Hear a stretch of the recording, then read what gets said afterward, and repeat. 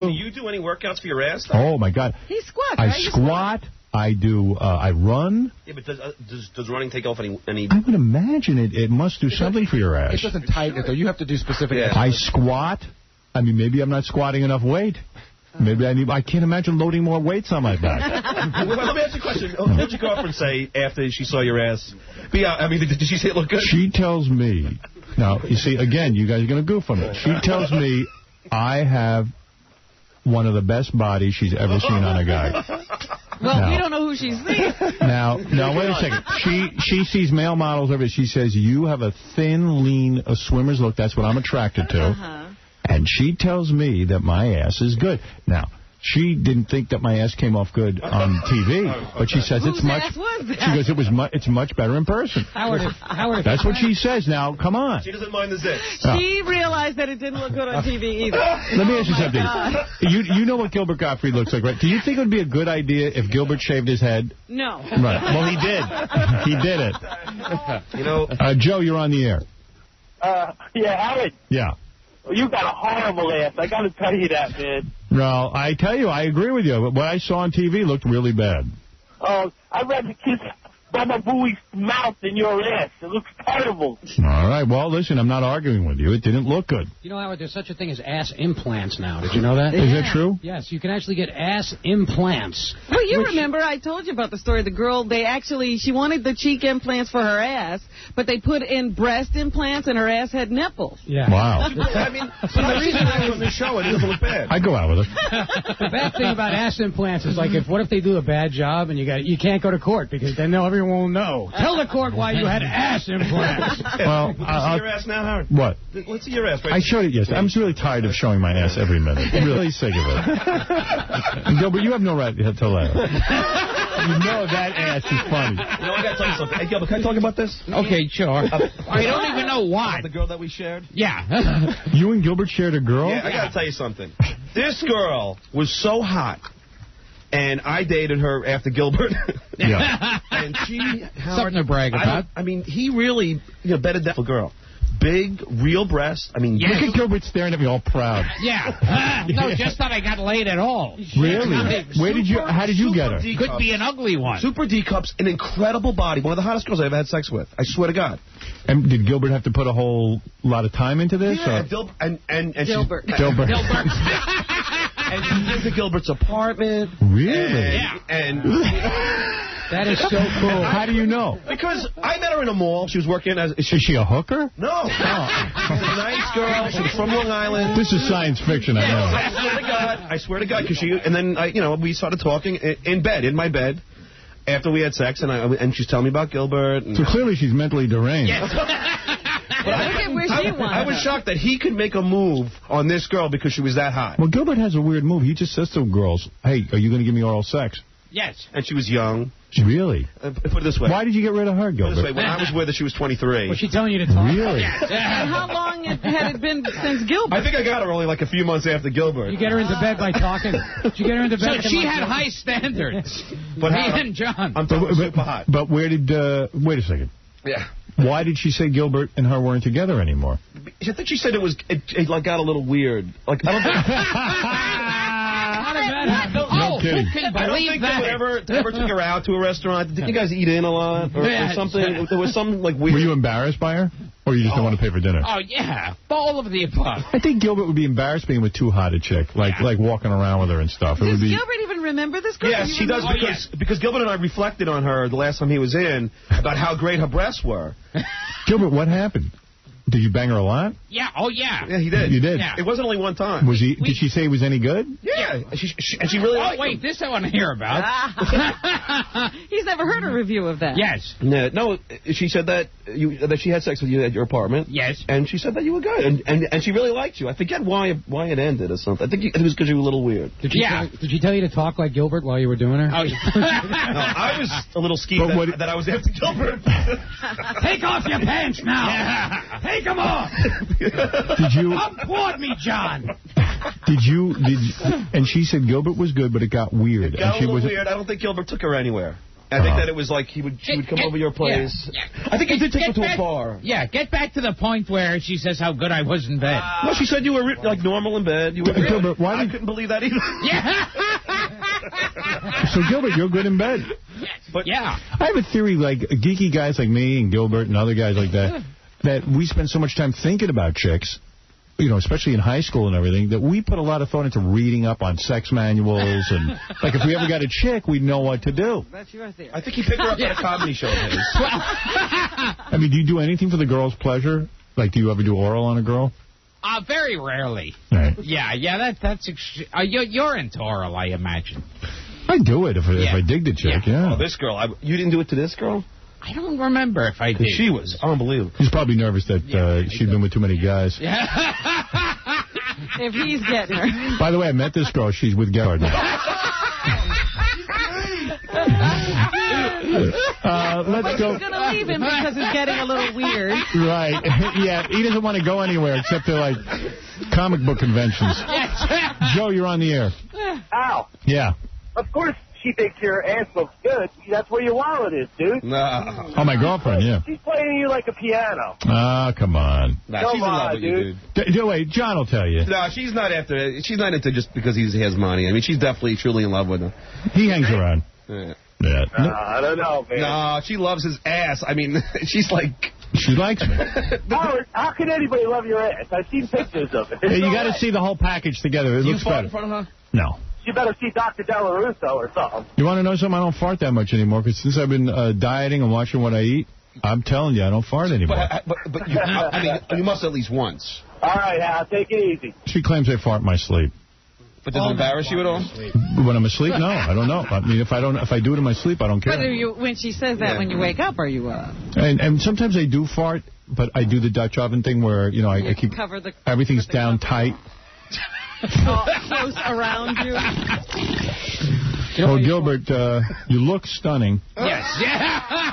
What is with this hairdo? You practically are shaving your head now. Yes. One of the few nice features you have is your hair. You have Yeah. hair. Why would you cut it all off? It's, it's that whole Auschwitz look is like in today. You really look like an Auschwitz going to say. I hope this is for a role. Is this for? A, he has no. Oh, he's Oh, playing yes. a parrot. Oh, yes, yes, this is for a movie I'm doing. Uh, A concentration camp movie. Yes. It's a remake of Hogan's Hero. He's Hogan. Hey, this is for a movie I'm watching. Yeah. You cut your hair for a movie you're watching. yes. I like that. What, uh, what, what, really, why this severe hairstyle? I just felt like it. Don't you feel you have too much face now? Yeah. All right. I um, can wait. It's that Gary thing. no, no, you look great. Yes. You, do. Oh, yes. you look as good as you're going to look. Yes. All right. Gilbert Gottfried is joining us. By the way, when we come back, Incubus is going to come in here and perform one of Gilbert's favorite songs. And Gilbert can dance. Will you dance, Gilbert? Yes. Incubus will perform Led Zeppelin's Immigrant Song. Are you a fan of Immigrant Song? Yes. Do you like Led Zeppelin, seriously? Oh, yes. Hum a few bars. Yeah, well, I don't want to do it. I couldn't do it justice. Ah. Oh, That one. That one I Can you name remember. one member of Led Zeppelin? What? Can you name one? Yeah, Harvey. Do you know any of the uh, Melvin. this song they're going to do? But they're going to do their version of it. Shlomo. This one. Sing along, Gilbert. Sing it, Gilbert. Oh, yeah, I don't know the words. You never listened to Yeah. Zeppelin? What were into as a kid? I mean, in high school, you didn't listen to Zeppelin or anything? Of course. Did All you? the time. I was the hippest kid in school. Did you try to fit in at all? No. Nothing. No. You never bought a Led Zeppelin album? A- after a while, you figure, what what's the sense? Really? You didn't Yeah. even bother? Yeah. You knew the kids would beat you up anyway. Exactly. what? They're not, Gilbert Howard. How old is Gilbert? Gilbert's got to be about my age. yeah. They're not going to say, oh, gee, Gilbert's the hip cat. You're in your 40s, right? Yeah. No, no, I'm in my 20s. So what are you about? You're about, you're about my age, right? Yeah. Yeah, around. Yeah. He's probably 50. Gilbert is ageless. Yeah. All right, when we come back, And I'll be at Caroline's. Oh. oh, are you? When, you, where are you going to Yeah. I'll be at Caroline's on Thursday. Oh, everyone's jumping up for joy. Yeah, yeah. What's the occasion? All right, we'll be back with uh, Gilbert Gottfried, the star of Hollywood Squares, and also Richard Jeni, who's going to be at the Improv in Cleveland, Ohio this Thursday through Sunday. Also, Incubus will perform right after this. Stern. Hey, what's up, everybody? This is Mark McGrath of Sugar Ray. Have I ever dated your girlfriend? Probably. And it was more than likely that it was the best sex she ever had. And right after sex with your girlfriend, I probably wrote a song about her. And while your girlfriend was douching to get rid of the remnants of moi, you were out buying her a ring and making reservations to take her out to dinner. And while your girlfriend is kissing you, she's thinking of me. I'll bet even Howard gets jealous of my action.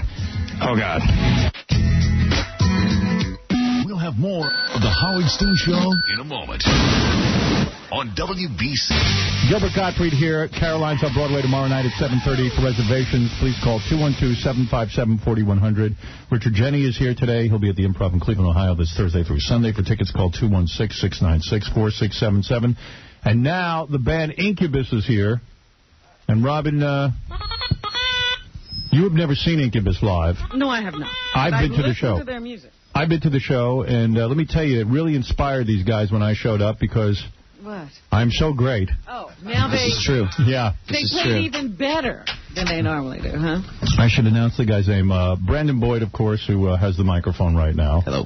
Brandon is the lead singer and voted one of the hottest guys in rock. Hello. Yeah, he is. Look at look how good looking this kid is. Yeah, he he could be a girl. Yeah, you could be on Superboy. You could. You're good looking I don't enough know to be a what girl. to say to You're a sexy devil. I see, and he does the whole move. I saw you that night. You took your shirt off. Yeah. And your whole underpants were like sticking up and everything. And I went, He's doing the whole. Did you see the part I took my pants off, too? That was it. You didn't take your pants off that night. Yeah. They were just falling down a lot. Yeah, they Yeah. came off. I bet you have a great ass. There was no holds barred nakedness. So it basically takes him no effort at all to get laid. As a matter of fact, you know what Brandon's history is? What? Because I've been reading about him. Not only is he the lead singer of Incubus and, and all that, which is a, a complete, you know, poontang magnet, he's been, like, fighting women off since he's a little kid. Yeah, he looks like the kind of guy who girls fell in love with just because he's so cute. He used Yeah. to go with Scott's girl, didn't he? Yeah, your mom, your your mom, He went out with the same girl like me and John went out with. no, your mom describes that when you were very young, that women would actually like attack you physically to get. is it is this true? When I was a little kid, Yeah, they, they used to beat me up, actually, at school. Well, it was more than beat you up. They wanted you, and your your mom said that you they, that you would even cry because you were too young. You weren't sexualized at that point. You didn't You didn't understand know what, they what, want. what it was all about. It's Before my voice dropped. Yeah. So you uh so what? Boy, I know that feeling. yeah. Yeah. He's still waiting. Gilbert, you were in your 30s before you lost your virginity. So you probably. Uh, But I appreciated it so much more. no, it's got to be great. To He be, had girls calling him probably. He never even had to, you know, the girls got him interested in sex. He didn't have to, like, discover sex. yeah. oh, No, no, no. The sex was forced upon him. he's like Yes. the guy that the girls horrible. are, are nervous. Like, how do I approach him? How do I Right, ask him right, out? right, right. Yeah, that's great. that's so great. God bless you. I wish I was you. I'll be honest. I was watching you guys rehearse, and to be the lead singer, you got to be good looking. I was thinking he about it. He starts out good looking and then becomes a musician. Like, Wow. it's not enough. Yeah, you really you have no right to be a musician. I could I could leave. No, but it's good for the re- it's good for the rest of the band because uh, the band needs a front man who the chicks dig and uh, who guys can look up to. And I'm busy. Yeah. but it really is true. Imagine that your mother has to. Uh, Keep girls away from you. yeah, that- that's that's pretty amazing. And yes, Teen People recently voted Brandon one of the hottest guys in music. Right. He's one of those guys that other guys have to go, oh, he's gay. Yeah, right. Yeah. Like I see it. That's my whole ploy, though. I'm That's hoping how I get he's in there. gay. Like I'm watching Super Bowl. I was watching. I'm Uh, going to ask him out. I was watching Smallville the other night with uh, my my girlfriend. Uh-huh. and the guy from you know Superboy comes on, and he's as good looking as Brandon. And I go, you know, my problem is he's too girly looking. He's not good looking. in Oh, the you're putting him down. yeah, I go, yeah. And meanwhile, the guy's, I, I go out with him. You know what I mean? I just, yeah, he's, you know, but I'm putting him down, and I go, you know, it's just too, he's too pretty. Did you ask your girlfriend, like, do you think he's good looking? Superboy, I mean. Uh, no, but I, we, I, we, the both of us went to your show that night, and I was like, oh, I hope she's not staring at this lead singer too much, because she'll start to see my flaws. He's one of these guys who's like in the girl position where the girls become the guys uh, who are hunting after him. What did you say? Yeah, you Yeah. said that. You said that God, two seconds ago. Yes, You're yes. very hung up on I'm, that. I'm amazed at that. I know. It's no. It is amazing when you can go to a party and girls will come up to you to meet you, and you can say no. And I'm- it's not because you're a rock star. Right. But I think deep down he's tortured and depressed. He's got that Michael Yeah. Hutchence. He's got that Michael Hutchence. Are you talking? You see, I I I didn't grew up in. Calabasas, man. It was horrible. It was it was cold, winter all the time. No, but articles describe you as a, your mom says you're a guy who turns inward. You're an introvert. Uh, A bit. Yeah. Now Michael Hutchence was one of these Which guys. helps him get laid more, because it's like, Yeah, the oh, girls are yeah, I'm really to like bring him out of tortured, man. shell. I need to go into my shell, and the girl's Yeah. like, "I'll help you come out of your shell. I need shell." to help him. Oh, you're lucky. Oh, the world just bothers me. Now here's a fact that I here's a fact that shocked me about you. You say you've been totally faithful to your girlfriend when you're on the road touring. I'll believe that. You will stay you will stay in your room doodling in your sketchbook and drinking tea. What's doodling? Tea. and uh, you sk- your sketches have become very Is that like sexual. dribbling? Is that really true? You're uh, you got a girlfriend? Uh, I don't have a girlfriend now, no. You but broke up with when her. I did, yeah. I You were was, faithful. I was faithful. So now you're single. Yes. Which helps him get laid even more, because every girl's like, oh. Are you doing the rock star thing? I mean, are you uh, banging a couple of chicks right now? Um, not particularly, no. It, it, I have, you know, my own sort of twisted fantasies in my head, but none of them have ever come true. You don't like so. to use people? Uh, No. I do. No. we should go out sometime. Let's go. Let's I go would- tear up the town. Let's I paint would the like town that. red. Now, uh, standing to your right, and, and do me a favor, please turn gay because we don't need the competition. Yeah, please start You liking it. men. Right. because I'm, I'm not doing anything tonight. And uh, standing to your right is Scott Einziger's cousin, a fellow Einziger, Mike Einziger. Yeah, that's that's correct. Uh, Scott is the producer of our show, Yes. our TV show, and uh, you you had no idea that you had a cousin until you saw his name listed on our credits. That's correct. I was sitting in my room at like, you know, four o'clock in the morning. Don't ask what I was doing. And uh watching your show. And uh, the credits were rolling down the screen. You getting laid at all? What's going Um, on? I have a girlfriend. You have a girlfriend. You're being faithful. Yes, I'm being faithful. He's just like Scott. Yeah, yeah. The whole Einziger clan is being faithful. Why do you? Why do you? gu- You guys? Who writes the music? Do you? Do you do All it, Mike? us. All of you together? We, we all write the music together. I thought it was Mike and Brandon, or it's all the No, guys. It's, ev- it's everybody together. And How's why do you? happen? And why do you fight when you uh, write these songs? What is so? What is? Well, some of us some of us have bigger muscles than than others. Like I have bigger muscles than everybody else does, and they get mad at me, so they they beat me. And No, no, no. I'm not asking you a serious question. You guys had to go into therapy, like a marriage therapy thing, in order to to. To work uh, out their working uh, we didn't have to. But isn't we it supposed did. to be fun being a rock star? It, you know what? A lot of bands break up for really stupid reasons, like like they can't decide who is going to be whose idea for a song is going Right. to make the cut or whatever, Right. and they fight about it. You know. So the therapist finger- helped you with that? Yeah, you know, we just sort of we needed somebody to just kind of mediate, I guess you could say. You got a good point. A lot of these bands are on a roll. I mean, Incubus is on a roll. You guys are having success. And then they break up over stupid crap, and they realize they, they had the best chemistry of anything. It's a fluke to become a, a hit band. You know how many bands are...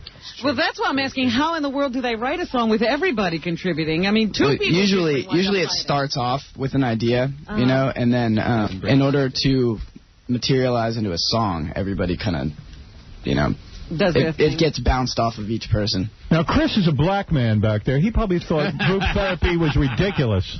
Oh, really? Yeah, of course. Yeah. Chris, you know, aren't into therapy? gr- gr- black people don't want therapy. That's a white man's disease. You, you probably said, what is this crap, man? I I ain't going to no therapist. Yeah. I mean, where, where, where'd Right you- I gotta Well, I got to tell the truth. To tell you, to tell you the truth, I got half half white in me, so they, they it was easy for them to pull me along. Were you shocked when the boys, the white boys, said that they want to go to uh, Let's go to therapy? therapy. Well, I, they they appealed to my white side, and I said okay. All right, and you were Therapist ain't the kind of hit drinker I think about. and that was the end of that. Uh, is it weird being a, a, a half black guy in an all white band? I mean, do these guys uh, lay a trip on you at all? Do they No, because I got? I got a Mexican right beside me, so we, we're tight. You know? Oh, you got a Mexican over there. I didn't realize that. No, it's an international band. Yeah. Jose, you're a Mexican? That's correct. How is that? Are you a Mexican? I, I kind of like it. Actually. and you're in a band. Yeah. See, we're, we're, we're, we're a PC You have a band. girlfriend. Hold on, Gilbert. I can't hear Jose. Jose, uh, you two, are you getting laid on the road? Um, I have a girlfriend as well. Boy, rock stars have gotten real You know, boring. they all hook up right away in these bands these days. Why do they make the Mexican and the black sit all the way in the back? Hey, we're, Because the we rhythm. got- we got the hardware. Yeah, we- You know what I'm saying? We got we got the soul back here. You know, I was watching. I was watching Chris uh, sort of get ready. You, what do you, you? You have records there, and you just scratch them, right? yeah, just scratch. Let me hear what that's. Like I mean, just do something on your own. This is. I find this so friggin' entertaining that you could take a turntable. It's a, an instrument now. Listen to this. Wait a second. Let me put it up. Okay, this is Brandon's voice here. Right? Right. Yeah. You know? Yeah. And you see that go on throughout their song. and uh, it, it blows me away. Yeah, it's it's it's it's like uh, it's pretty simple. It's not that hard. How do you start playing a turntable? I mean, uh, did your parents say, "What kind of idiot are you?" I yeah, mean, you're- yeah. I asked my dad for two turntables, and he said, "What do you need two for?" yeah, right. Like, yeah, just listen on So I one. got, I got a, I got a job at McDonald's when I was 14 and saved up money for one, and he bought the other one, and I started then when I was 14. When you were 14, you said, "I want to be a turntable perf- Artist. artist." Yeah, I saw Jazzy Jeff, and I was like, I want to be that guy. Really? Yeah. And do you play the drums or anything like that? No, I'm I'm learning. You just play the turntable. Yeah. That's his instrument. I instrument. play trumpet, a little bit of piano, and can read music a little bit. And when you were in the high school band, did you scratch in the junior high band? Uh, I actually tried to bring my turntables into band, and they kicked me out. They said, no, get out here." Hard to march with your turntables. You're not kidding. And uh, Dirk is on bass. And Dirk, tell me you're getting laid. Somebody uh, tell me about the life of a rock star on the road. Only, only by my girlfriend. I hate to Really? out. But you know what? There was all that time before the girlfriend where you know it was debaucherous. It was the same thing with him and him. Oh, you did. You You guys did had. have that time. Yeah. Yeah. Girls were into us back in the day. Yeah, and do you guys get threesomes going and all that kind of thing What, going? like me and some of the other guys in the no, band? I mean you and two girls and all that. Do you get that? Not anymore. Not anymore, but you've had it. Kinda. Yeah, you had the girls on the bus perform for you and all that. Hmm. Not recently. That's beautiful. Yeah. Uh, did happen. Chris, go ahead. You're on the air. Yeah, what's up, Howard? How are you doing? What's up? Chilling. Uh, listen, I was just wanted to ask Incubus. I read something about an interview that they like to do like a lot of meditation and stuff. I was just want to know if that affects them musically anyway. You guys meditate with you, do? TM? Group meditate? No, we don't. We've never done that before. Anybody into meditation? Some, somebody, a couple people in the band, yeah. I, I do on a rare occasion. I find it helps with stress very well. I meditate. Yeah, I've been meditating since I'm 18 years old. Really? That's Does right. it help with your music? Uh, my music still sucks. uh, I, I, honestly, it does. Yeah, we're gonna find out. Okay, but what about you? Is there a spiritual? I meditate uh, in my bed Are- late is there night. anything spiritual in your life, or are you completely empty? As Oh yeah, being? yeah. I'm really into spiritual Yeah, stuff. that's what I yeah. thought. Yeah. yeah, man. Well, I just want to say to y'all that that, that, that band Incubus, bro, you guys are taking uh, music to a whole new level. They're very good. Thank you. And uh, and I got to tell you something. Live, they are very good. They are really a good live band. They can, uh, if you get a chance to see them, they're really, really uh, entertaining as hell. They're they're tight band. In fact, some magazines said you guys were the most mature under 40 year old band that they'd uh, ever seen. Like you're not I'm reading a holes. I'll tell you the magazine that said that. No, I won't. I can't find it. Let's see. Uh, this must be so boring for you. No, I don't care. I mean, I just like to hear about Poontang, but if you don't have any stories. Well, you know that after uh, we played those concerts a couple months ago, Mm-hmm. um, we were going to be making a donation to your uh, your charity relief fund. Oh, yeah, right. What happened with that? No, we got a check for you. You got a check for us today? Uh, yeah, in, in uh like an hour. Oh, that's great. How much money did you raise? I think like fifty-one thousand dollars. That's nice. Very cool. Incubus raised $51,000 that will go to the fund that uh, we all donated to. And uh, that's great because that goes directly to the uh, firemen, police, and uh, EMS workers and anyone who lost, uh, you know, uh, people at the World Trade Center. So that's great. Uh, Gilbert, did you donate any money? Oh yes. Yeah, he's A lying. Have you even performed at a benefit? Oh, I'm going to be performing at some benefit uh, Sure you on are. the fifth. Actually, Really? yeah. I don't even know the name of it. Uh, I that think would the be W. Have you uh, ever donated money to a World charity? Trade Center 911, something like that. Have you ever donated any money to charity? Oh, oh yes, yes. You know that's a lot. All, all my money goes to a charity. He probably sent his money to the Taliban. He doesn't Yeah. even know. what he's doing. right now, Osama bin Laden's going, why so cheap? Right. now, uh, do you guys need a smoke machine for your performance, or are you okay here? Pyrotechnics. Do you guys have one in here? We don't. All right. Incubus Fire. is gonna. Are you gonna do? Uh, I'm hoping that you'll do your new single, but first you were talking about doing uh, a, a cover version of Led Zeppelin's "Immigrant Song." Only if you'll sing with us. though. Only if you come up here and sing it with us. I don't want to ruin it for Can you. Can you do the the crowing part? The yeah, honk? I'll do that part. You mean this? Do you have some reverb on there too? You need the reverb. Uh, that's reverb. Oh, there you go. I got it. This good-looking guy's making me sick. yeah. You don't like You know reverb? what? You know what? you know what the song is about? I, I got laid once. Stuttering John's a witness. Do you know what? Do I know what "Immigrant Song" is about? Yes. Isn't it about these guys who come over to this country and then blow us up? Pretty much. Yeah. Pretty much. So what what is "Immigrant Song" You about? ever read the lyrics to the immigrant song? No, I haven't. I downloaded them off the internet. Here, check it out. What what what am I supposed to learn from this? Well, maybe you will see something there. Let me see what it is. That maybe you're really a Viking. It's about Vikings. Well, What does it say? All right, it says ah ah ah ah ah. I don't get anything from that. We come from the land of the ice and snow, from the midnight sun where the hot springs flow. Hammer of the Gods. We'll drive our ships. Thor. We'll drive our ships to new lands to fight the horde, sing and cry. Valhalla, I am coming on. We sweep, we sweep with threshing oar. Ah! Who cares? Who we don't even need a plan now. Come on, you guys do it. I need this stuff. All right, here. You need the lyrics. All right. See, I know the words already. Give it a shot, and then we'll hear your uh, new single. Uh, by the way, Incubus will be at Tower Records in Manhattan at 4th and Broadway at 5 p.m. today. Uh-oh, that should be uh, a madhouse. That should be loaded with hot chicks. Yeah. You gonna you gonna bang any of the chicks who show up there? All of them. It's very generous of you. All right, here we go. Shh, the boys are working this out.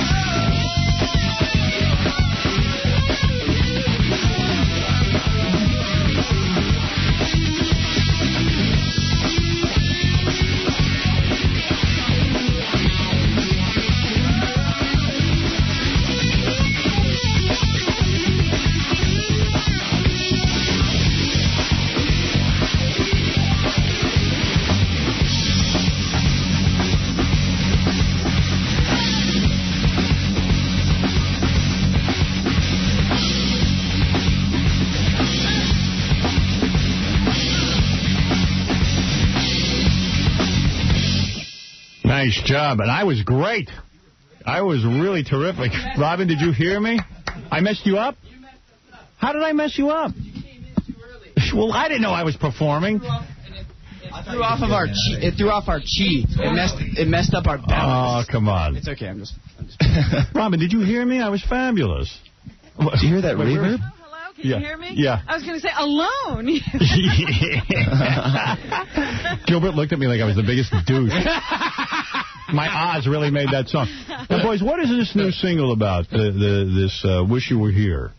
What does that mean? What is that about? Some girl? Uh, you actually. Oh, it was me. Yeah. No, well, We're who was- wishing- We're sitting on the beach wondering where you were. It's about all the women they used to bang before they got girlfriends. Hey, you know what? I heard you rehearsing this. Uh, is this about Vikings as well? This one is as well about Vikings. We were we were missing them. All right, do so. Do do. Uh, uh, "Wish You Were Here." This is from your uh, new album's new single. And I'll join in. Right. yes. The new album is Morning View, by the way. All right. All right, everybody calm down.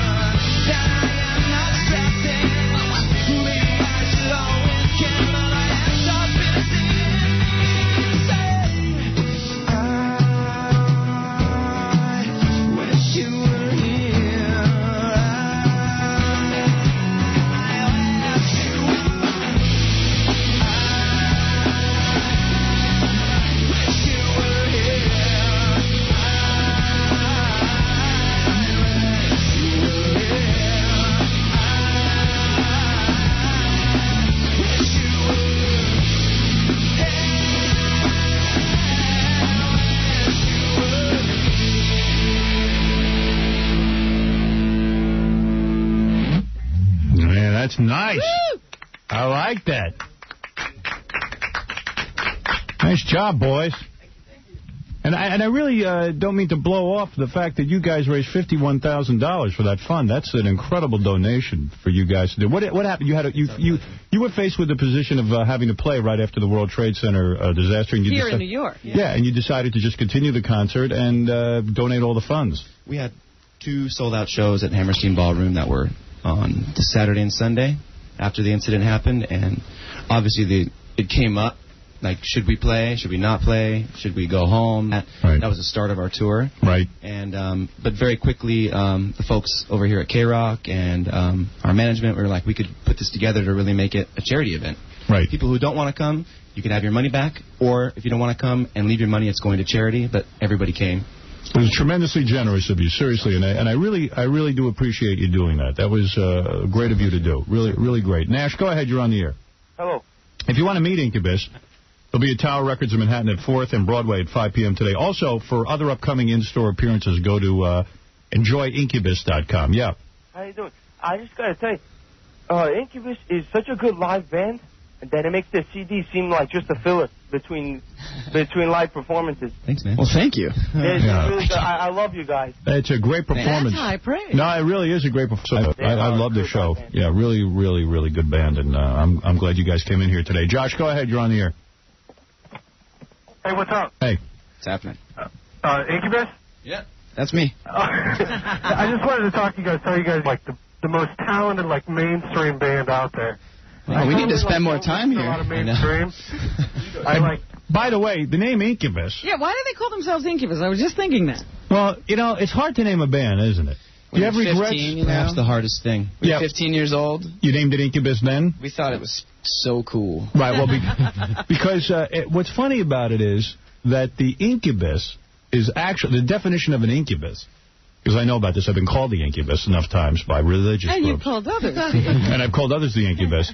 The incubus is a devil that comes to a woman in her sleep and then rapes and savages her. no, isn't that the Ravages. succubus? No, that's not the succubus. It's the incubus. Female version of that spirit. That's right. The incubus is the Is male one? spirit that comes to women at night. Hmm. It differs depending on which dictionary you look in. In the uh, Oxford Dictionary, it actually says it's a bulbous plant that if you break it open, the milky fluid on the inside will make you see strange colors. Does, it, does the name Incubus still appeal to you? Were you sorry you went with the name Incubus? We're very, very sorry we went with it. We apologize to everybody. See, this makes them even more cool. The Satan worship stuff. so into And we take ourselves really seriously. I said to Gilbert, I said, we're the two least cool guys. There. I said, why don't we start a band? And, and then Gilbert goes, well, I don't know any music. I don't know any instruments." and, I, and I said, yeah, me neither. I said, it really depresses me that I spent an entire childhood not taking advantage of the free time and learning the guitar, learning how to sing, learning... What did you do with all that I- time? I- song, man. Hey, bring in Lou Pearlman. You know, start a boy band. Start a boy band. I, I, I did nothing. I wasted. I did a lot of drugs in high school. I did. That's what I did. That was my sport. It got me nowhere. Hey, didn't you sing in Ford Fairlane, or were you just playing a, a disc jockey? He played a DJ. I just played a DJ. I thought you were doing some singing in that too, like on the air. Oh no, no! I just played the D- that. That was the part uh, they were talking to you. About. When you beat me out. Yes. And Well- remember, I actually called you when I got it to Yeah. see if it was okay with you that I was I doing did. it. Yeah, and I told you I didn't want the part. Yeah. I thought That- the movie was but dumb. that was the Oh, only thought he was decent thing I've done in He my thought- life. Yeah, Gilbert thinks he stole that from me. Yeah. well, actually, the same part together? No, no, no. It was a weird story. Yeah, we were sitting in. Uh, way waiting too room. boring. Way too boring. Yeah. But I'll tell you something. Um, uh, you know, after high school, like you guys know instruments. You, I know Star Trek trivia. That's. I mean, that's what I. I know got out of it. anything about old horror films. Yeah. That's true. You know complete dialogue. Yeah, I mean, Gilbert's. You see, you get up on stage and women are attracted to you because you spent high school learning how to play music and sing. Gilbert watched horror films. and he's that- And old talk shows, he can do the old Groucho Marx. Right, yeah, but you could do, he could do Dracula for girls. I, I sang in Return of Jafar, in that sequel to Aladdin. I saw that. Yeah. Did you? Yeah. You, Let me hear you sing. you're good, man. Uh, oh yeah. See, see, he says I'm good. I'll back you up if Look, you want. A Call rock star says I'm good. Stuttering John says I. I Notice no I'm girls say no girls say you're good. Yeah. All right. Anyway, uh, uh, so where was I on the phone? Anybody still there? Hey, Yeah. it's Josh. Yeah. Go ahead. I just wanted to, uh, well, I just basically wanted to say that uh, Incubus is an awesome band. I love them, and they're so talented. They remind me a lot of, I don't know, I don't want to get into a conversation here, but uh, we were at the then why'd you call? the other night. Yeah. What did they remind you of? They remind me of Strung. Do you know Strung Out? Do you guys ever heard them? Yeah. Yeah. They're totally talented band. I totally think you guys totally relate to them. And uh, Oh my I think God. I think we I actually think we played with that band. I hung up on that guy. But they're nice guys. Chris, you're on the air. Yeah, Howard, how's it going? Incubus, you guys are great. Thanks, man. Thank when you. I'm, I put in that Make Yourself CD when I'm looking to get laid. Right on. Does it Chicks work? love it. It, it works. Yeah. Right. Can I And have Howard, a CD, you write the please? song. What song did I write? Name a good song. Your eyes. Wait a second. I didn't. I didn't want to sing it. The guys I asked me to do good, it. man. Well, you I should have. Well, what, what am I supposed to do? Guys said Yeah, sing, did I really sing. I'm not a singer. You should have known better. Oh, get out of here. Bastard. Stupid bastard. Uh, Stupid bastard. Katie, you're on the air. Go ahead. Hello? Yeah. Um, hi, I just want to say, Howard, you did mess up that song. Um, and... All right, so I messed up the song. Yeah. No, you didn't mess Oh, up I didn't mess it up. Thank you. I think you sounded good. Thank you. Um, It's all and right. I love you, by the way. Thank you. Um, I'm calling from really far away, like Geneva, New York. It's a little, little town. Um, I just wanted to say that, like, Brandon's voice is the best voice I've ever heard. Yeah, but he's really ugly. He's fat in person. You're like Charlotte Church, voice of an angel, but like a guy. He's too good looking. He looks more like a girl. We have No, to put he you doesn't down. look like a girl. No, He's he's a good looking guy. It's a very tight band, and the band is great. And uh, I do want to thank you guys for coming in here today and playing. You sound great. Thank you, Howard. Um, go to uh, enjoyincubus.com. Go see them records in Manhattan at 4th and Broadway at 5 p.m. today. Uh, what are you guys going to do? Sign copies of the new album? Yes. Came out yesterday. We're All gonna do all kinds of silly little backflips and things like that. Yeah, entertain people. Are you going to be playing there at all? Or you just go and sign stuff? No, we'll be playing with stuff. And the uh, album, the new album is called Morning View, and it's in stores now. Uh, thanks for coming in, guys. I got to take a break. Gilbert's I'll still be here. at Caroline's tomorrow. Oh man, you must Isn't have that not. pathetic? Have you, not know, sold a the ticket? girls who Yeah. go to uh, I- see them yeah. today could go to see Gilbert tomorrow. It just it just it's that much more pathetic when I see them. And uh, know, it's- and at the signing, if women come by, do they have a chance to have sex with you guys? Any of you guys? Yeah, there's the the uh, gratuitous sex room uh, next to the signing table. That's all they need Yeah, to know. you buy you buy the CD, you get a quickie. and by the way, I may buy a CD then. I should mention something here. As long as we're talking music, uh, I would have to say that this is, I think, the fifth time we booked DMX and he never showed up. I know. I said, when are we going to stop falling for this? I like it. I like it. I, I don't even think I want to interview the guy. I just want to see how many times we can book him and have him not show up and keep snubbing us. For real? At least five, yeah. Well, he's our main competition right now. this Is it true? Yeah. On the on the He's record got an charts. album Yeah. out? Well, what do you mean? Like, Like came out yesterday too. So Oh, I see. So he's the big guy. He, he sells a lot of records. he does. Oh, yeah. yeah. he does sell a lot of records. We show up. You have to show up. Yeah. At least you guys are here, though. And uh, and thank you, uh, Incubus. You guys sound great, and we'll be back right after these words. Be very conscious of it. Feel the presence of it. Check this out. The Howard Stern Show. The, the Howard Stern Show continues after these on WBCN. Headache, infection, and nausea. You're listening to the Howard Stern Show. F you.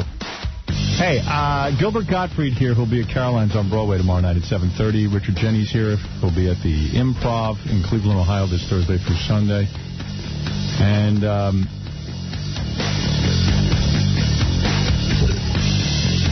And I'm good in bed, stuttering John said so. I just want to say something. That should be on your flyers. Yes. you see what That should be the blurb. Good in bed, stuttering John. I'm sort of embarrassed to admit this, but during the break, Gilbert and I were doing a sword fight. What? Yeah, we were. We had our pants off. We were comp- first we started comparing penis length, and then all of a sudden it worked into a sword fight. Yes. And he won. That really upset me. Uh, what is it, Dave? Dave, you're on the air. Is that Dave? Howard. Yes. The mix was terrible on that. It was brutal. The, the immigrant song. It was on the radio. It was like all flattened out and, and muffled up in the beginning, and then it came to at the end. Yeah, apparently Scott forgot to hit something at the very beginning. Yeah, I, I was freaking out. So I bring in Scott. He's in charge of. All he has to do is set up the button so that when Incubus plays, you can hear it on the radio. Huh? Song starts. I don't hear anything on the radio. Yeah, it was only coming through the air mic, I think. Scott comes over, hits a button, and then they come over. Uh, I, I, ha- and I don't even yell at him anymore because I can't take it. It's, it's not worth it. The guy, the guy has to hit one friggin' button. So, yeah, because I usually go out to check what the air sound is like on these things, and as soon as I heard it in the headphones, I said, something's wrong. And then Scott hits the button, then he looks at me, Yeah. like sheepishly, like, Oops. I'm led to believe that you're an island in the sea of incompetence. I, I, I tend to feel that way, but then Scott gets mad at me when I say something to him. But, but, but what should I do about it? It sounded good till you started singing, then it then it kind of screwed it up. You know why? Because my mic's not supposed to be up during their songs. But they asked me to sing. But I didn't think it sounded so bad um, until then. You know. No, there was a moment it, it wasn't coming, uh, it was it was muffled. No, in the beginning. yeah, oh, in the beginning you can hear it, yeah. In the beginning, he just forgot to put the switch on that throws everything on. You were just I hearing somebody- it leak through. And kind of the reason I even have him in here is so that he knows how to hit that button. Right, you don't want to leave it in your hands. He's the engineer. Yeah, I don't know the button. He was busy. I want a, I want a job to hit a button. That's all I want to have to do in my life. Yeah. All right, thanks. Later. Wait, John? Say how that hot-looking girl said I was good in bed again. I actually lied. She said you were horrible. Yeah. Did she really? No, no. Uh, Roberto, go ahead. That would have been more believable. Roberto, go ahead. Howard, Yeah. how you doing? Hey. Hey, listen, I just wanted to let you know that I respect your work. Nine-year listener. But I do think that, that you, you are going out as a fag. Going out as a what? As a faggot. Faggot. Oh, oh, because I'm dating a girl? Because you're saying you love her. You're in love with her. Yeah, I love her. She's she's a great girl. Faggot. I mean, I mean, I mean, I don't know. He's in love with a girl, you faggot. Dude, what planet are you from? When did, how does that make you gay if you like a girl? 21 years you've been married and now you're saying that you're in love? So he fell in love. What's wrong with that? What's wrong with that? So I mean, come on, Howard. is that gay? Is that what faggots do? Yeah, yeah, that's what I thought faggot. I mean, faggots it's fall in love. gayish. It's gayish. Well, dude, are you do you have a you don't bang girls or feel anything I, for I them? love, I love women, but after being married for Real 21 men do guys. Oh. I, guess. I mean, come on. Yeah, be a man. Hey, vey. I never thought I'd get nailed for being For a faggot being gay, for, being into in a chick. a girl. Oh my That's God. That's so gay. I didn't. I never considered that it might be gay. I guess I, if I find someone I like, I should break up with them. It's that totally would faggy. be. Yeah, That would be That's manly. being like being with someone you dig is gay. Denying yourself pleasure. Yeah, vagina is for fags. when did that happen? Man, I'm out of it. Is, have things changed that much? Oh, it's I in had- all the papers. I had no idea that was gay. Well, then I'm gay. Sorry. I'm perfectly happy. Here's here's here's a guy. Exclusive. I'm a fag. Here's a great story in the newspaper, and I I don't know if this guy's crazy or he's just a mad genius. Okay, here's the story. Oprah has announced that she will not be dining on air. You know, Oprah dines on air with the um, And off air, it looks like. yeah, yeah, exactly. She's always done. She always picks an author once a month, and that becomes her book of the month club. And she has uh, a little mock dinner. Of course, she doesn't eat during it. Only off the air she eats. But uh, she will not be dining with novelist Jonathan Franzen because he is seemingly uncomfortable and conflicted about being chosen as a book club selection. Franzen said in recent interviews that he didn't want the coveted Oprah's book club sticker on his novel because it was a corporate logo. He turned down Oprah. Yeah, he doesn't want to be her selection. What a fag. Yeah, he's a big fag. But seriously, you know, what do you? I, I mean, that's wonderful. doesn't that automatically work into millions of dollars when you're on Oprah's book club or something? Absolutely. I think it's so great. You know, Because those drones have to buy every book she says is good. Gary, I think we ought to get this guy on the phone, Jonathan Franzen. I got to read his book. Isn't her thing that she already owns the rights to these books?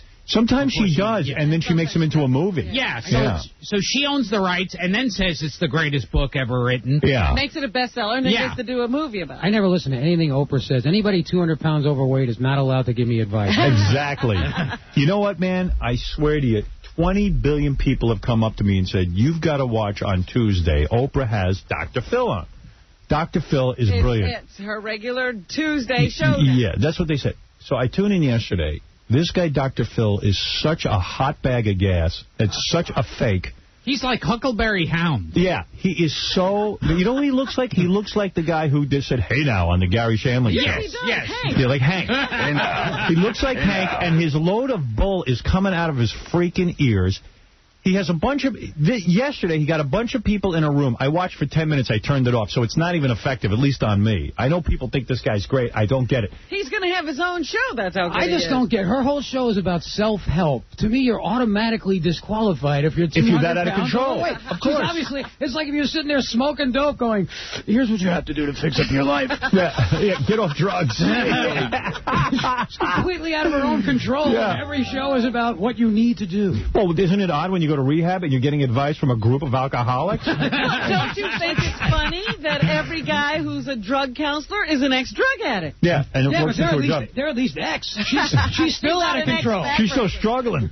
well, anyway, she I tune on this show, and Dr. Phil is standing there, and he's like Hank from, you know, he he, he doesn't Hank look. Kingsley. Yeah, I don't know how many times he's been married, Hey, but now. he's talking to couples about, you know, marriage and stuff. And each women get up and cry and stuff, and he starts badgering people. What are you doing here? Like, like almost like boot camp. You I are am sick you. confrontational. Yeah, you. What are you doing here, ma'am? If you can't answer my question, You don't hate him, you hate yourself. ma'am, this is not about him. It's about you. You just said a load of crap. You are the one that is wrong, not the other people. I'd rather watch Springer. At least they degrade you right up front. Right. It's Right. subtle degrading. It's like Yeah. it's like a very obvious degrading. And the worst part of it is, after he degrades you, and you know everyone's applauding him for it, Oprah just sits there with a smile on her face, and whatever Oprah says, he agrees with. He go, she'll go, Dr. Phil, what you're really saying is that men and women do have their basic differences. That's exactly right, Oprah. he's not That's right, speaking English. Fatso. Yeah, she's have to interpret. yeah, she's the only one. Yeah, come here, Fatso. You know he doesn't turn You to her. You got that right, Dumbo. it's almost like it's our version of stoning people, mm-hmm. but somehow Oprah endorses it, and, and it's not Then it's stoning. Have yeah. a bucket full of slop, Oprah. Yeah, you fat pig. Because they did this thing not too long ago where he took couples away for a month If those pants burst, it'll kill us all. and even Oprah noticed that he was being little Roll hard. over in this direction, Oprah. Oh, God. Yeah, you. Oprah noticed he was being a little hard on one woman. Right. He said, well, she was full of crap. I had to tell her. I had you're a- blocking the sun out. I won't be happy till she commits suicide, Oprah. Ah. This is freaking unbelievable. Woman's got a lot of problems. Oh, Oprah. Oh, we're getting this naugahyde chair and get out of it and make that sound I like so You much. just keep eating that slop while I talk. Have another bite. oh, man. And I'm sitting there. Now, I'm, Tubby, I'm watching These this. people have psychological problems. More fluffernutter? I'm watching I'm watching Oprah fawning over Dr. Phil, and it's like a big scam. And the guy doesn't help it. You know, yelling at somebody doesn't help them. Don't fawn over me. I like skinny broads. I mean, I don't even understand what help they receive. But isn't it a great gig she's got? She sits back and lets him do the show. Oh, that's Oh, yeah. awesome. It's like, let's get a book. And let's be you got a honest. Show. And let's be honest. Dr. Phil is fat too. He's got, He's got some problems. Also out of control. Yeah, I mean, and and you know, okay, people are hey, fat. Oprah, let's slam our pot bellies together. I mean, why doesn't one of these people who are so supposedly full of crap get up and say, you know, Dr. Phil, what's your issue with food? Right. Like, I mean, you've got a What double are you chin. hiding? You know, you, you, you, you're probably about 55 years old, but you look about 65. You look like goddamn Hank Kingsley. How about Maybe you ought to come clean and tell us what's on your mind. Dr. Phil filled up with cheeseburgers? you know? When you do What are therapy you on trying to stuff down? Well, you do I, therapy on TV, it doesn't take the usual four or five years. You get it done right here. yeah, and that's three the other thing. Two, There's a- three minutes. There's a big rush to get someone to break down, so they start berating them. And it's Till like, they cry. I don't know that that's good therapy. Some of these people are really damaged goods, and this guy's just picking on them and, and just, like, How picking on long How secure can they sit be if they have to go on TV and talk about their problem? Start blubbering. We're losing, start blubbering. We're losing the light. All right, there's a guy on the phone claiming to be Jonathan Franzen, Oh, who is the I would author. love to talk to him. Jonathan, go ahead. The reason why we dropped her is because she's a filthy, smelly Moulion. Oh, That was here the bottom go. line. Hey, Howard, can I say something? They said Who is that this? in the New York Times uh, book section. This is somebody who should be writing your comedy. I That's see. Who this is. Well, you're you're a scream so far. Let me tell you something, Howard. It's Yeah. Sal the stockbroker. I know, Sal. Give me a second because I want to ask you something. Okay. Who wrote your monologue for the uh, benefit concert? Me. You did. Why? I'll let you slide. Why? Because I personally believe you're a genius. You're, you're a radio revolutionary, but I personally believe that you blew it because that was your opportunity. Instead of putting down Rosie O'Donnell or Kathie Lee, why didn't you put down Osama bin Laden? I think that's stepping on My toes. my my. Uh, first of all, Sal, for you to tell me what I should talk about on stage is almost ludicrous. You're a broken down stockbroker who has failed and lost seven hundred thousand dollars recently. Who has never ever been responsible for uh, a professionally entertaining Howard. anyone? The, the fact of the matter is, it's my statement. They asked me to come what there. he wanted to say. And my feeling was that celebrities who flee New York in a time of, of, of tragedy are disgraceful. That doesn't mean I don't like Osama bin Laden. What am I going to do? Go up and tell Osama bin Laden jokes? It would be better than Rosie O'Donnell. It, it simply wasn't It's not. Rosie O'Donnell. Rosie O'Donnell stopped doing. What do you mean? Is it appropriate? It- it- it- Why isn't it appropriate? Because you are great when you're on your radio show talking about Rosie O'Donnell, and it's interesting. But when you're at an event, uh, Who according to says the you? Talking to him. what's that? Who says you? No, what I should I- talk about? I mean, who are you? This is what my thoughts are. Howard. And as a matter of fact, I got off the stage, and I'd say about at least 20 to 30... ass kisses. Don't even go there. Oh, Everybody is get out of here, Sal. Your own insecurity is making you say that. Yeah, I mean, I got off the stage. Everyone said, thank you for saying it. And in fact, Rudy Giuliani gave the exact same speech without naming names. He got up there and said he thought it was disgraceful that people in this time are leaving New York. They're not coming to New York. He said he said the same thing. He didn't name names the way I did, but you know he's the mayor. I guess he doesn't feel comfortable doing that. But uh, I pulled out some names that I read from the New York Post. Drew Barrymore, Heather Graham, uh, Rosie O'Donnell. I read about in the newspapers stopping her show. I always have to tag Kathie Lee because she's a pain in the ass, and that fat star Jones. So, it, you know, I mean, I don't know. I, I mean, those are my thoughts. Those are my feelings. I don't know what if I uh, Osama bin Laden. I mean, what are you going to say about Osama bin Laden that hasn't He's already a been bad said? guy. Yeah. Oh, gee, Yeah. he's very Hitler-like. Yeah. I mean, I don't know. I was commenting on something else. That's like saying, well, talk about something else. Oh, it's so silly. Oh, my goodness. V- Vinny, go ahead. Uh, Sal's an idiot. You know, I, I was watching that whole concert, right? And after a while, I got sick of hearing about Bin Laden. You know, it was about New York, and it was about, you know, feeling safe living and coming to New York. And you hit the perfect note. That's exactly what needed to be said that night. Uh, first of all, the show was called Concert for New York, Exactly. and it was about the revival of New York. We've been hit. And my, I think part of the revival would be these people who come here in times that are good and use it as their playground and their backyard. They should certainly be here now when we're hurting. Supporting it. It's the one time where their celebrity actually means something. Yeah. I mean, I, I just said something that I felt. That's all. Now, you hit the right note. He's an idiot. Thank you, Ben. Uh, Robin, it's time for the news. Gilbert is here. Uh, Richard Jeni's here, two of the top comics in the country. Certainly they have something funny to say. I mean, they haven't said it yet, but... Yeah. No. It could happen But there's right still now. another hour. It's another hour or so. Happen anytime now. Another 10 hours? Yeah. No, these guys are two of the funniest guys in the world. And one of them is... Congratulations to that guy who turned down Oprah's recommendation. Yeah, we like that. Yes. I mean, he's crazy, but it's... I mean, probably would have been good for another million in book sales. But he had the nerve to do it. Somebody had to do it. And that He would've had to man go on the show. Forward. Anyway, Gilbert's here and Richard Jeni's here. And I'll be at Caroline's tomorrow. And Rich will be at the Improv in Cleveland. Yes, we're tracking Gilbert's movements. No, we're not. I still have to applaud uh, Giuliani for turning down the $10 million. That was great. You would never turn Yeah, down no. No, if it was me, I'd cash the check and say, you never gave me a check. No matter what. Yeah. no matter what they said about you, right, Gilbert? Yeah, but she, you never gave me a check. Uh, Gilbert would take the money anyway. Yeah. But uh, Giuliani said no. Speaking of Giuliani, he gave his uh, first town hall. Uh, he had a first town hall meeting since the uh, September 11th attacks, and uh, he once again told people that you know, uh, yes, this anthrax is a scary thing, but don't lose your mind over it. Number 12, Howard. Anthrax is a scary thing, but don't lose your mind over it, Gilbert. Okay. No, that's know, too late. He's the one person I think doesn't worry about it. no one's no one's going to anthrax Gilbert. Yeah. It's not perfect, and you can't anticipate all of the things. Gilbert, are you insulted that nobody even sends you any hate mail Oh, yeah. or, or remi- remembers? You know what I was thinking about today? You know how everyone talks about September 11th? Yes. Uh, that you had friends from 30 years ago who are calling to ask how you were, and Right. everyone says, nobody called me. that some of these insane people will do. But the, the reality is that the risk is is not as great as unfortunately sometimes in people's minds it's created. Yes, only three people have died. It's three too many. Only three. Only three. Hundreds of millions of us.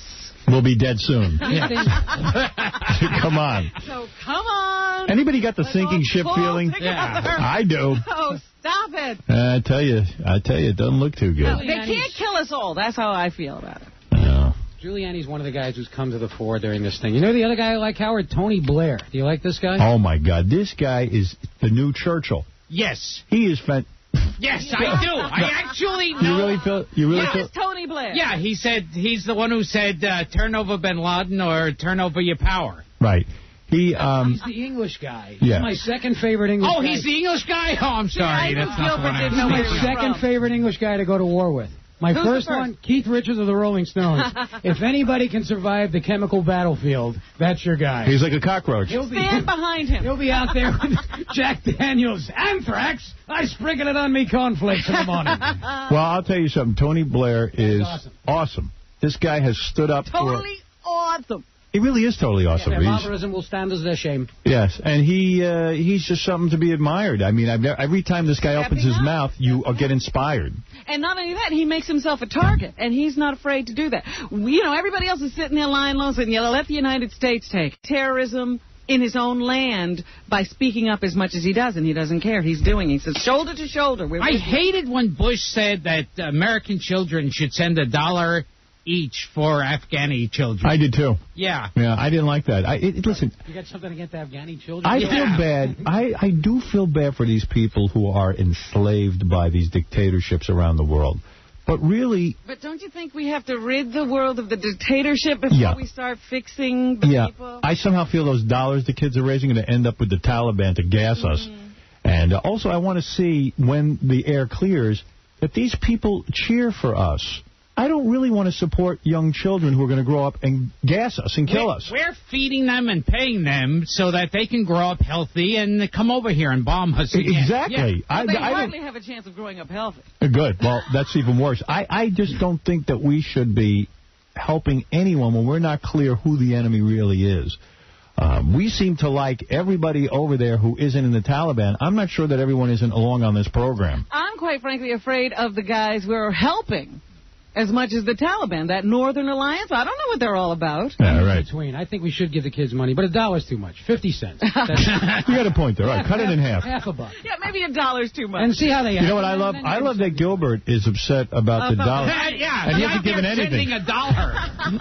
I'm just money. against sending a dollar anywhere. I think I think seriously, Gilbert is frightened by all of this. I think really, you Gilbert, have you been affected? I think you've been touched. Yes. Yes, I, I've noticed my shows have been, not been anywhere near as funny. What is it, Vinny? Gilbert and me. Vinny, are you there? Oh, I guess not. Vinny? Howard. Yeah. Hey, what's up, buddy? Look, do you think um, that we're on a sinking ship? You really feel that way, right? Yeah, I do. And and I mean that really kills everybody's, you know, hopeful feeling. They said, you know, they had all these things in place beforehand. Do you ever think that maybe um I feel that our bureaucracy. or I feel that all of our strength is in sort of a, a military style combat, and those days are long over. And that basically we don't have um, the ability to nuke these pricks and actually do away with entire countries. We don't have the heart for it because we care about people. We're good people, basically. But we do have the ability to adapt to a new style of war. I hope so. which is what we all got to get our pills ready for smallpox. Yeah, it seems it seems like we're on a oh, defensive posture. I just think if you if you are if you are in a country that is responsible for terrorism and you're sending us anthrax and you're taking out entire buildings in Manhattan, your country doesn't get to exist anymore. And we have the ability to do that. That's the way you win. But uh, other people have said this, Well, but see, I guess we're not allowed to do it. Part of the problem, though, is, you know, you got to get a little bit more sophisticated about this. I say you got to take a globe. Go ahead. You know, take a magic it. marker, cross out certain countries, give it to the military, and say, "Here's what I want you to do." Make the world look different. Yeah, make it look like this. I want these parts blacked And out. make it look like the moon. Yeah. But wait a minute, then you've got to be willing to do Pakistan, and it Yes. might go a lot further than you think. Fine. As long as we're alive. I think you got to do a different kind of war and be smart about it. I think you send in Tony Soprano disguised as Jesse Jackson. Oh, jeez. Look, Yeah. now, anybody who Call from the cave. yeah, he had an accident. He bent down. He was kissing a rug. Boom, his head fell off. I don't know how it happened. Howard, I know your girlfriend was down at uh, Ground Zero helping out. Were you down there at all? At Ground Zero, no. I uh, felt that uh, a lot of people who are famous, who go down to Ground Zero, were looking for photo ops. And uh, I certainly would not want to be accused of that. But I'm saying they didn't even necessarily look like cameras in there to, to video any of that. I had my picture taken by a con- construction site and said it was ground zero. Yeah, there you go. Yeah, Yeah. Gilbert Gilbert actually Knocking down some building, and Gilbert has Gilbert actually faked an appearance I at was Ground Zero. sweat off my brow on a construction site. He's working. Yeah. Go ahead, Robin. Yes. Anyway, uh, at the uh, town hall meeting, Giuliani Julie Annie. was uh, roundly praised by the people who uh, There you attended. Here's uh, a woman thanking Rudy, number 13. Number 13, where a woman thanks Rudy. I want the tape of that woman thanking Gilbert. Yeah. I came here specifically to thank you and your administration for the job well done for the past eight years. You've changed New York around completely. Our next mayor has a lot to stand up to. Um, but most of all, I want to thank you and Commissioner Kerik and Commissioner Von Essen for your true leadership. I bet you the Afghanis think it's Jew. Yeah. Jew. Oh, another bureaucracy is all the terrorists have lawyers. Yeah. That's and, insane. And, and none of them even get the death sentence. No, of course not. Yeah. Well, that's why, you know, I don't want to see Osama bin Laden put on trial. We'll never get rid of him. no, no. Absolutely not. He'll be he'll be doing interviews in Time magazine. I'm telling you. He'll be running that prison like it's a, like a country club. He'll be coming up, uh, you know, parole boards will be sitting trying to determine whether he's ready to leave prison. He'll be on BET with OJ. Osama, you're a single dad. Single dad interview. What's it like being a single dad in prison? Oh, Uh, very sad, very sad. Oprah, Dr. Phil, and Osama bin Laden. You got you got a lot of anger, boy. Yeah, he'll be a reformed But at least you ain't fat like Oprah is. Yeah, get the crap out of your beard, boy. You may have killed millions of people, but at least you ain't a big fat slob. He'll go to jail and find Jesus and come out. At least you don't eat a hundred Twinkies an hour. Maybe he's okay. Flags are flying at half-staff today at post offices nationwide. It's in memory of the two postmen who died after inhaling the uh, germ warfare agent anthrax. Right. The postal employees worked in a Washington facility that handled anthrax-tainted mail sent to the U.S. Capitol.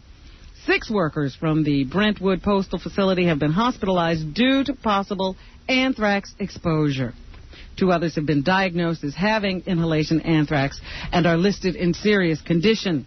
Thousands of New York City postal employees will be tested and treated for possible anthrax exposure starting today.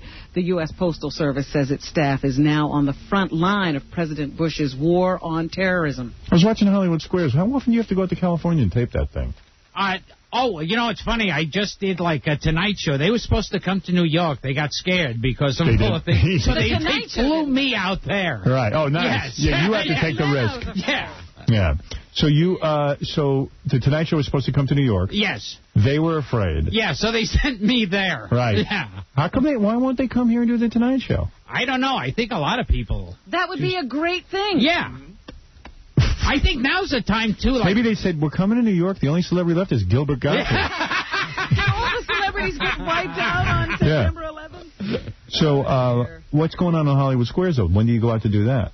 Uh, I don't know when the next one. I I've flown out since. Oh, you have? Yeah. Is it scary flying now? Uh, let's see. Oh, Be serious, seriously. Is Yeah. it scary? Like you're sitting there, do you start th- looking at everyone Do you strange? worry, Gilbert? It, I think people worry Gilbert's yeah. I'm flying today, man. well, I I'm searched. They searched me like crazy. You do? Well, you Yeah. look strange. They they had me. They were patting me down at You the think gate. they think you're an Arab? You do Yeah. look like an Arab. They they patted me down, emptied my bags, and afterwards the girl goes, "Oh, I enjoy your work." will you wear? Will you wear a gas mask on Hollywood Squares? Oh. Gilbert looks like Muhammad Atta. The uh, Uh, really looks like one of those terrorists. Mohammed Atta the block. why don't you wear the beard and the uh, turban and all that? Uh, let's go to Tim. Tim. Tim? Yeah. You're Tim. Yes, I'm Tim. What's up, Robin? How are you? Talk quickly. You know, I'm listening to you guys talking about blowing these people off the face of the earth. There's no reason to blow them all off the face of the earth. You blow one of them off the face of the earth, and I guarantee all these pussies go running. You mean take a country and blow it up? Just one. Yeah. Well, yeah, I think that would set an example. But, uh, again, I mean, I don't know. It seems like we have kind of controlled warfare. Like, like they're saying that the Taliban is now hiding, Among uh, civilians. hiding among civilians, and they're taking all their equipment, whatever they have, their military gear, and they're hiding it in mosques throughout Afghanistan. We won't blow up mosques. I don't see why not. It's the Taliban that's putting the crap in there. Well, we, we were also considering not bombing during Ramadan, like we're going to observe their holiday. Yeah. Oh, and then, You know, for years, It's for years they've been debilitating. doing this kind of stuff on their own holidays anyway. The Taliban Oh, didn't and then we accidentally killed the son of one of the terrorists. And that was a big news item. Aw, poor baby. Oh, I'm, I'm so sorry. that was an accident? oh, I, and when it's like we killed some civilians there, that was another thing to cry over. And I read the book of bombing etiquette, and bombing is, bombing is always appropriate, really. Why don't we build a giant... Yeah, giant? after we lost 5,000 civilians, Why don't we build a giant mosque over America, or instead of the World Trade Center, we rebuild a big giant mosque, then no one will bomb it. See? that'll work. That'll work. Mosque over here. We'll all get it. My idea is to secretly bomb other countries so they'll get angry and blame Bin Laden and see what they do about it. There you go. Because they're not going to help us. That's not a bad idea. You know, if we blew Gilbert, up the why are you Kremlin. here? Why are you not- in the nation's Yeah, I should be. Yeah. Give me like one day there. You're a prankster. If if we Didn't you the, play Mr. Mxyzptlk Yes, on Superboy? Why am I getting military advice from Mr. Mxyzptlk? if we blew up the Kremlin, Yeah. they'd immediately blame Bin Laden, And they probably go about it better than America's doing. You know Don't what? you love this game where everyone's walking around like they're a military expert and Oh, yes. here's what we should do? Yeah. We should nuke. We should. Oh, I know what we'll do. We'll blow up a, a nice country and then hope that they. Got, Yeah. And we all have the answer. Nobody seems to have the None of us are in the, in the position of doing anything. Notice.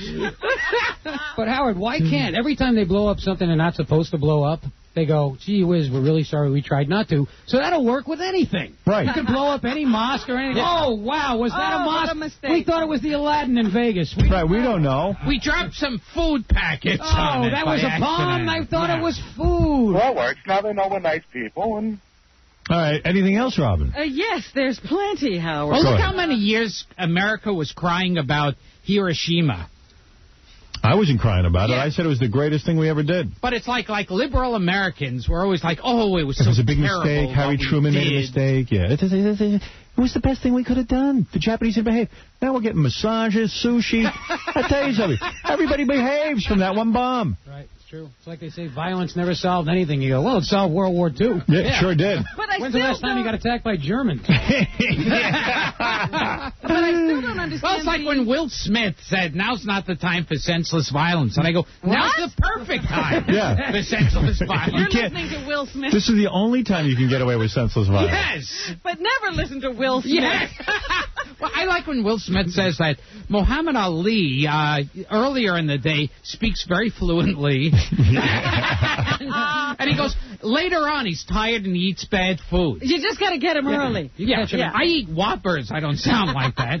That's like when I interview strippers on here and I ask them like intelligence questions, like like who was the first president of the United States they can't answer. They go, you know what? It's very early in the morning. Later in the Oh, day, yeah. I can answer this. I know who the president is after dinner. Ask me what one and one is. Uh, Tonight. Yes. But I don't understand these adults who are still hoaxing as a result of the anthrax scare. There's a lot of people who've taken this as an opportunity to play a joke in the office. A Memphis man is facing federal charges after trying to pull off a terrorist hoax.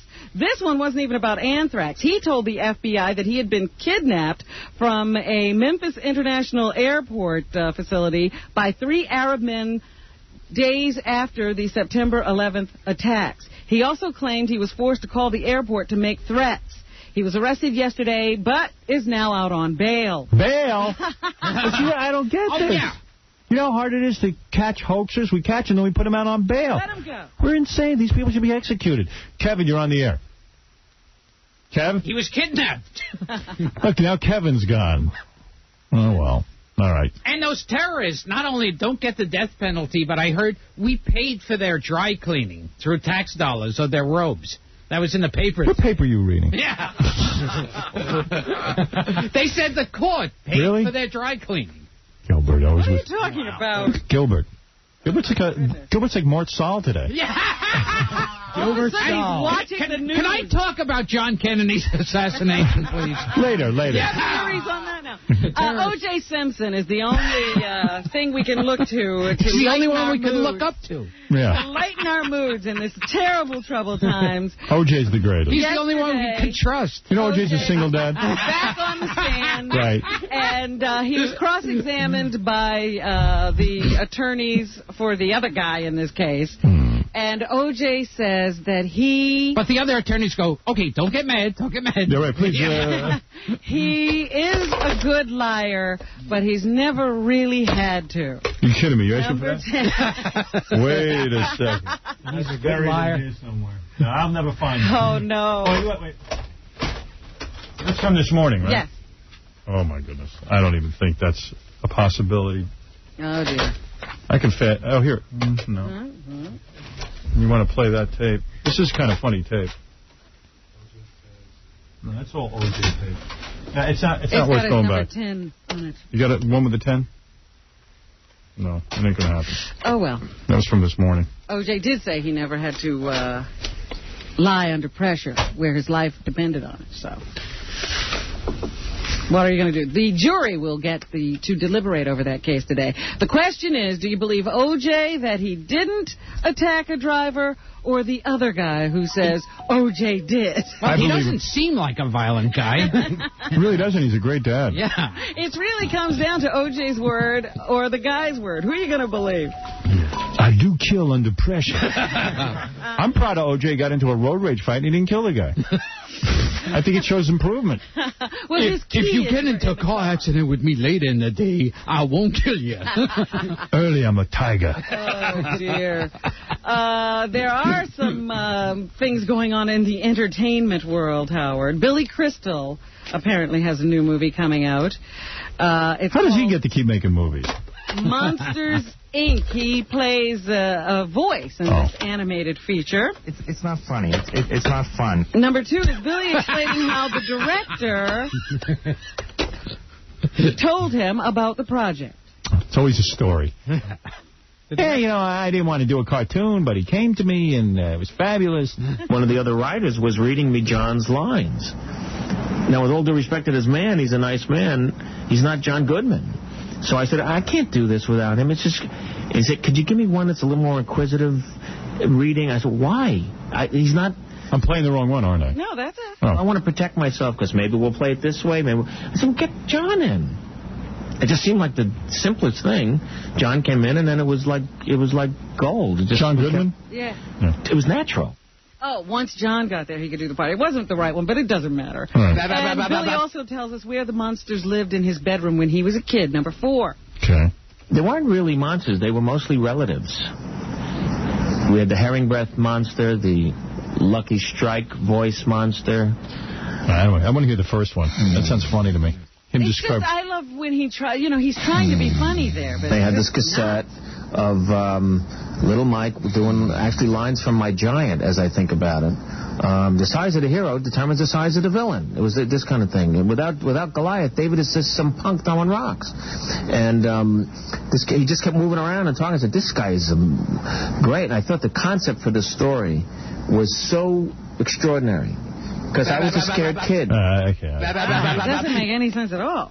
No, no, what he's talking about. Uh, Robert Redford has a movie out. It's called uh, The Last Castle, and here he explains how the American flag, American flag's presence in the film will shine light on patriotism and the flag as a symbol. I saw him on TV the other night, Robert. I said, there's no hope for any of us aging well. I mean, that guy was the best-looking guy on the planet, and he looks scary. Now he's a Samsonite. yeah.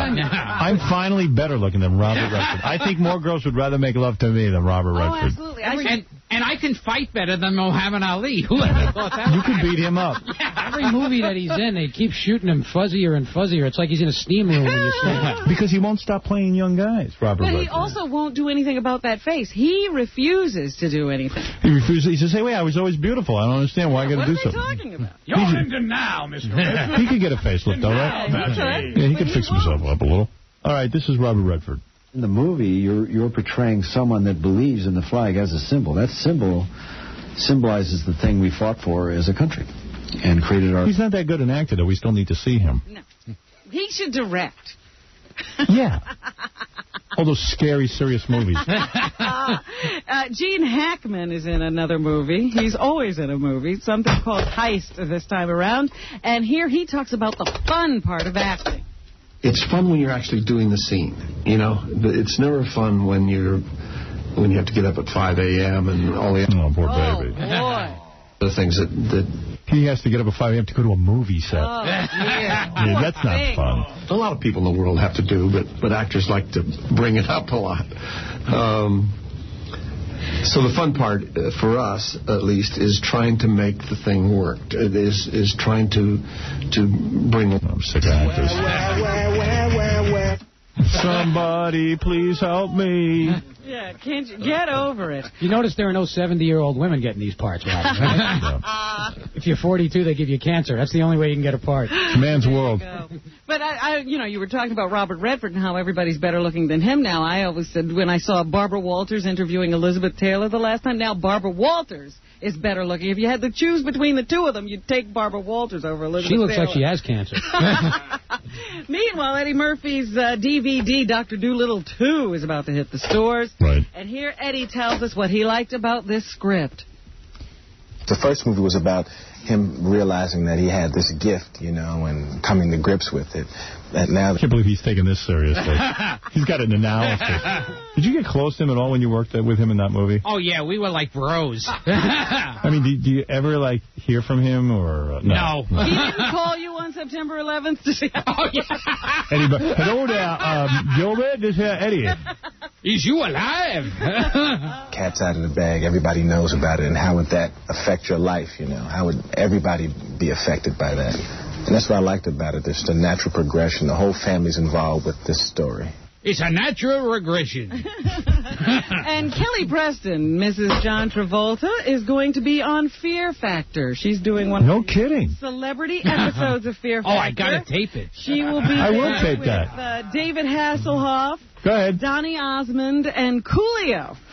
I can see why they're doing it. I don't understand why she's doing it. She's married to John Travolta. She says she's obsessed with the show. She really loves it, and she wanted to do it. One of the things she has to do as a challenge is to plunge her face into a bucket of worms and bugs. Wow. She said uh, it was one of the nastiest things she's ever had to do. Second to John Travolta's butt. Third to John Travolta eating. and that's what's happened. Thank you, Robin. Uh, Gilbert, let me address you first. John, you are fat. You, uh, your new haircut is fabulous. You look great. When someone, I would think you'd want more hair. To, you know what I mean? I think I'd want a mask Yeah, I'm- and turn my collar up. I'm really surprised you have short hair now. I want to rub his head. Do the women find it sexy? Do Oh, oh, of course. Join uh, Gilbert Gottfried for a night of Frivolity. Frivolity, a night of fun at Caroline's on Broadway tomorrow night at 7:30. And uh, he has his whole new look. Gilbert will take your mind off the tragedy. And I'm good in bed, as Stuttering John will tell you. And he has that GQ kind of look now. When you look at Gilbert, you see there are more tragedies. I have that tiger beat look. For reservations, please call 212-757-4100. Richard Jeni, great seeing you. Nice to see you, Howard. Richard, thanks for coming in. Uh, the Improv is where you'll be in Cleveland. Gilbert laughing at Richard's gig. hey, what's wrong Finally, I can laugh at someone else's job. Oh. This Thursday through good city. This Thursday through Sunday. For tickets, call 216-696-4677. Also, see Does Richard. Richard still like doing stand-up? Is he, like, into it? Yes, Richard's got another gig. He was just going to plug it, Robin. Oh, I'm just asking. No, Richard does not like doing stand-up.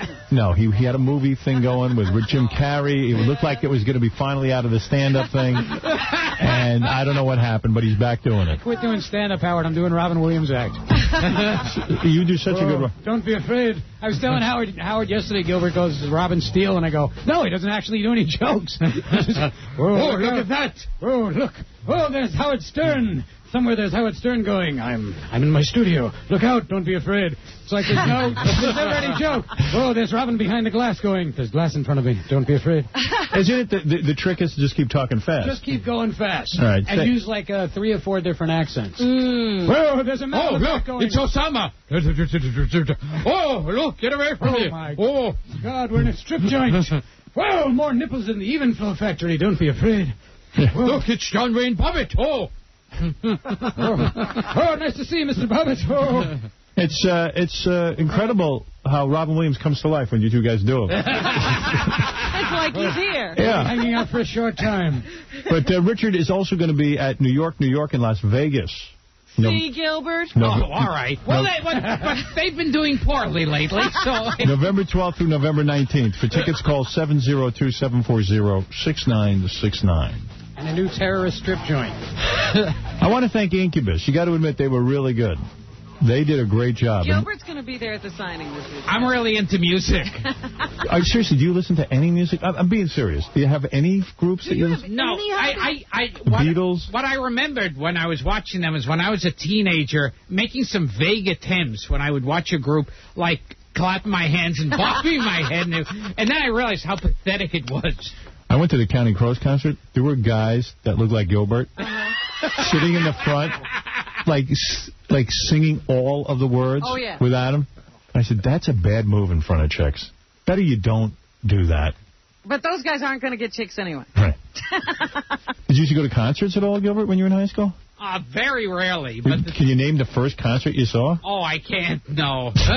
you you have a, uh, a a CD player, right? We got that last Oh, week. yeah. You're, so is there are there any CDs that are on your CD player? All jokes aside, is it, what have you listened to in the last month? What band of any kind? You know what I do? I'll sometimes turn on the radio, um, radio, and it's like, you know, if I hear a song that's, oh, all right, that's okay. But do you, do you ever? Is it that you just don't want any enjoyment in your life? I guess so. Do you own, do you own CDs though? I, I've, surprise, surprise, never bought a CD. Yeah, but you, you have some. Somebody gave them to you? Yeah. And do you open them and listen to Yeah. them? And what are they? I, I don't even remember. They, I, they, the groups now, groups for like the past 20 years, I couldn't. But do you have any Beatles records or? I, I see now the Beatles. I can name their songs. Right, you That- like that- them. It pretty much stopped there. What about That's the? when you lost oh, interest. let me. wait, Maybe I could trace this for a second. Rolling Stones, you know. Yes. Okay. The Animals. Okay. Uh, okay. They, they. Yes. Yes. Okay. All right. Let's see if I can name anything. That. Oh, that that house. Uh, House of the Rising Sun. House of the Rising Sun. Right. It pretty much stops there. Gilbert, have you ever been to a concert that like you didn't go to get like I know sometimes get, if it's free or you want to get laid, but, but do you ever go to a concert for a band that you're like, wow, I really want to see I those want to see them. No. You know, because Gilbert reminds me, I remember once going to a Deep Purple concert, Hmm. And the audience was full of guys. Full of Gilberts. Yeah, just standing there, singing and dancing. Gilbert. Purple. They're all alone. That's a new description. Gilbert popped out of pop culture at about age seven. but Hendrix, you know. Hendrix, Jimi Hendrix. Oh yes. Purple, Yes. don't? The Cars, are you familiar with their music? Oh yeah. Okay. Vaguely. Queen, Uh, yo, they did that that one. Bohemian Rhapsody. Yeah. right. And uh, We Will Rock You. a U2 song. A U2 song. Wow, now I'm in trouble. REM? Okay, also. Incubus? No, but, but wait, wait. Those are the police, you know. With Oh, yeah. Sting. You know him? Yes. But name a police song. Okay. He can do it. I bet you, my money's he can do it. Yes. Okay, there was that uh, one, I'll be watching you. There you go. There you go. See, he knows. Well, you like you- that one? Now, if you would have put your money down there. You wouldn't want to go for three police songs, would you? No. I bet you he could even name a Nirvana song. A Nirvana. Oh, oh, oh, uh, uh, smells like Teen Spirit. There you go. You never heard it. yeah, no, but I. So all right, so you're with it. You're, you're, yeah, I'm you're, a, I'm a hep cat. yeah. hep cat. We have to invade his apartment and see what CDs he has. Do you own a What, DVD what player? radio station do you A listen DVD? No, I don't even own a DVD Do player. you like buy? Me neither. Yeah, My dad always tried to get me to read it, and I try, but yeah, and it's too clumsy to hold. But you look at the? Like, Big. yeah. Do you read? A, do you read a paper? Like, would you read the Post in the morning? Uh, very rarely. how do you know what's going on? Do you Yeah. watch news on TV? Yeah, I'll watch news sometimes. What's your favorite? Like, who's your favorite anchor? Oh, okay. That, I don't have a favorite. Does anyone have a favorite anchor? My What's- favorite no, no. anchor. Do you watch a certain channel more than? No, no. What is? What are you listening to on the radio? You say sometimes you turn on the radio and you hear a song. That's okay. What Which station? station will you listen to? See, that's it. I never had a station I'd listen to. I like turn it like a safe cracker. Turning the dial on the radio. you turned into your grandfather. yes. All right. Um, all right. Is he watching any TV? Does he like television shows? Uh, no, he doesn't. Is this something we would do in our home? All right. Let's uh, let's just say goodbye for now, and we'll see you tomorrow.